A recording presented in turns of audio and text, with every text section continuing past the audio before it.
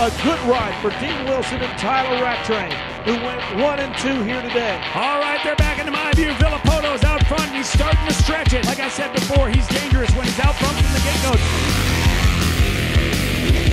It's Dean Wilson into the number one position.